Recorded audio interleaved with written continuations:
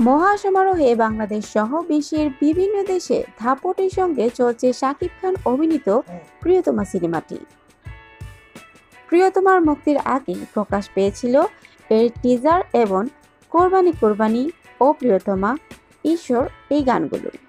এবার প্রকাশ পেল প্রিয়তমা সিনেমার গভীর শিরোনামের আরও একটি গান। গেল বারোই জুলাই বিকেলে অনলাইনে প্রকাশ পায় গানটি। গভীরে গানটির গীতিকার জাহিদ আকবর। তিনি রোজার ঈদে মুক্তি পাওয়া সাকিব খানের লিডার আমি বাংলাদেশ সিনেমায় সুরমা সুরমা গানটি লিখেছিলেন। গভীরে গানটি হৃদয়ের গভীরে পৌঁছে যাচ্ছে বলে মন্তব্য করেছেন দর্শক শ্রোতারা।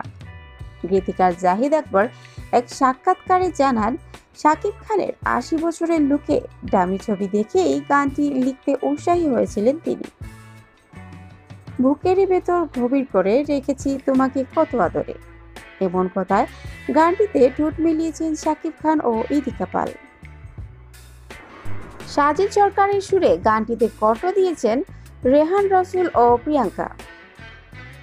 হিমেল আশরাফ পরিচালিত প্রিয়তমা সিনেমায় শাকিব খানের বিপরীতে অভিনয় করেছেন কলকাতার জনপ্রিয় অভিনেত্রী ইদিকা পাল। আরও আছেন শহীদুজ্জামান সেলিম, লুৎফুর রহমান জর্জ এলিনা সামনি সহ আরও অনেক তারকা।